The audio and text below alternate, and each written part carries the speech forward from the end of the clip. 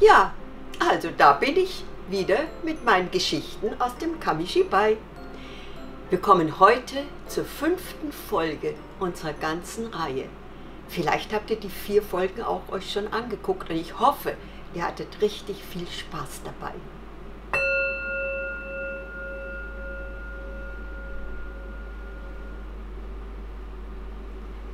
Das Märchen vom neunmal klugen Kaninchen. Viele Wochen lang hatte es nicht mehr geregnet und es war eine große Dürre im Land. Die Seen, die Bäche, die Flüsse, alles war ausgetrocknet und die Tiere litten großen Durst. Da beriefen sie eine Versammlung ein.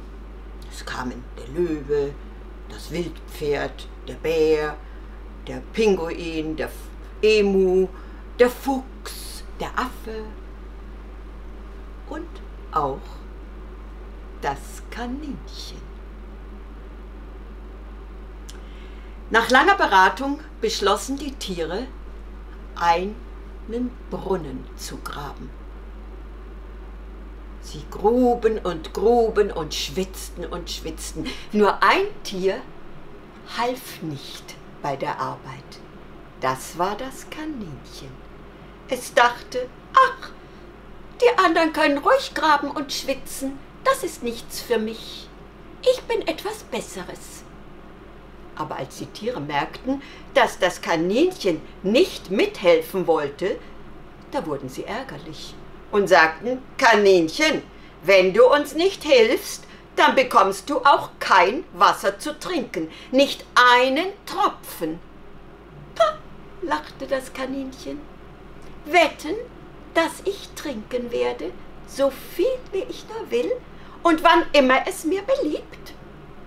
Ach, die Tiere kümmerten sich nicht mehr um das Kaninchen, und sie gruben und gruben und schwitzten und schwitzten. Habt ihr einmal an einem Strand im Sand, im trockenen Sand, gebuddelt, immer tiefer, dann werdet ihr vielleicht gemerkt haben, dass irgendwann der Sand sogar ein bisschen feucht wurde. Und wenn ihr Glück habt und noch weiter buddelt, dann kommt vielleicht sogar Wasser hervor. Und als unsere Tiere gegraben und gegraben haben, da hörten sie plötzlich von unten Wasser sprudeln.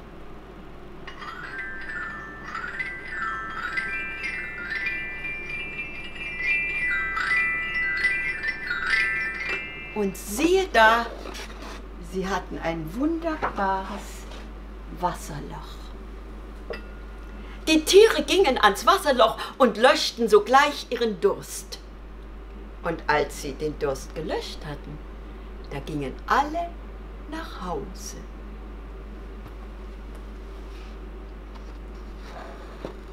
Aber denkt mal, als die Tiere am anderen Tag wieder an das Wasserloch zum Trinken kamen, da sahen sie doch die Spuren im Sand.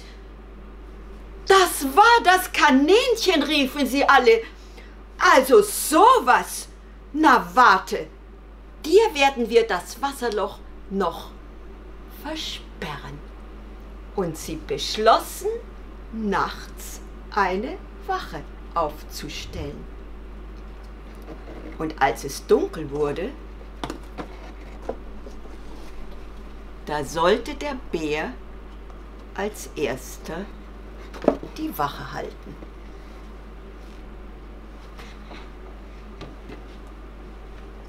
Bär blieb am Wasserloch sitzen und wartete und wartete.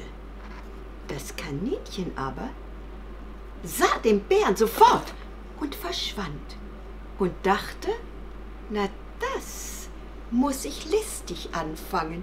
Sie haben den Bären als Wächter aufgestellt. Na warte.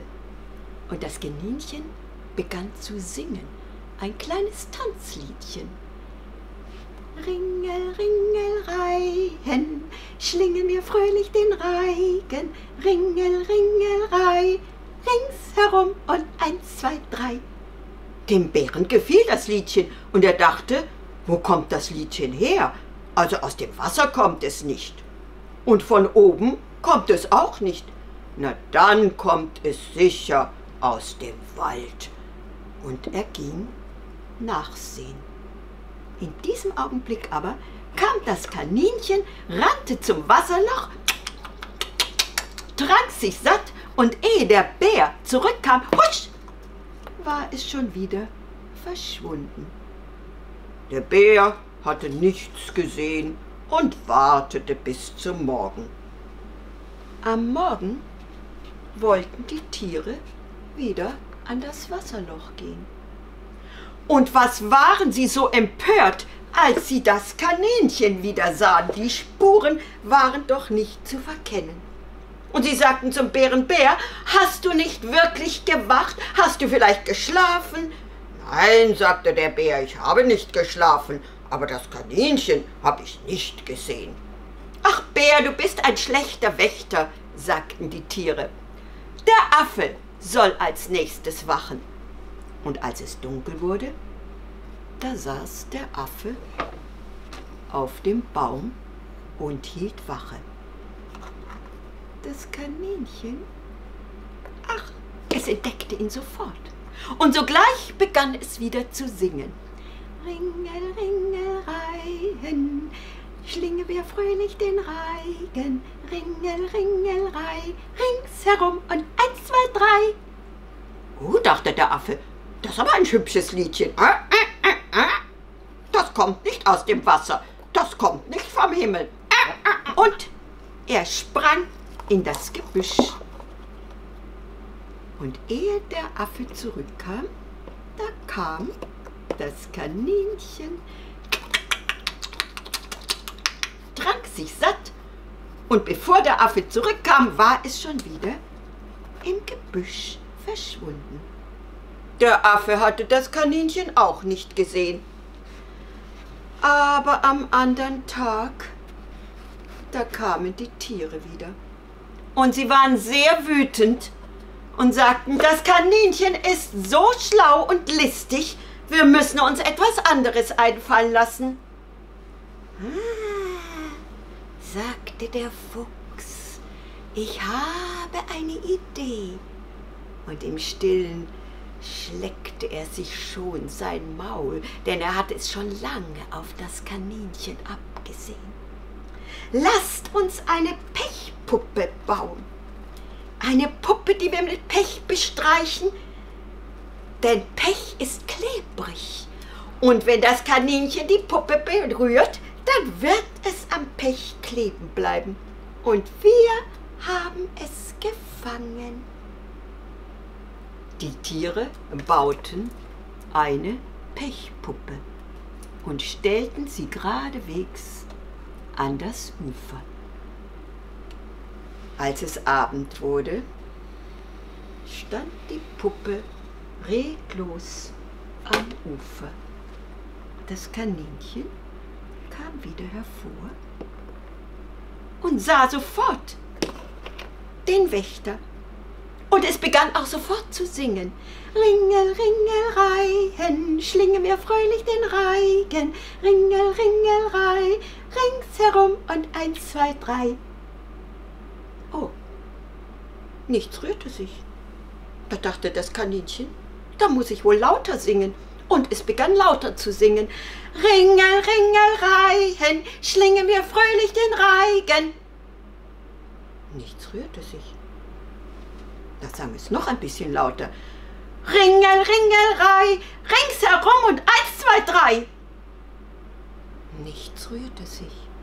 Da wurde das Kaninchen wütend und kam näher und schrie die Puppe an. Mach, dass du wegkommst!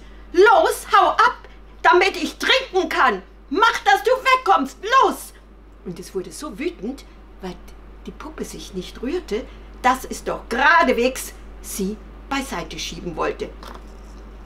Es griff die Puppe an und blieb hängen.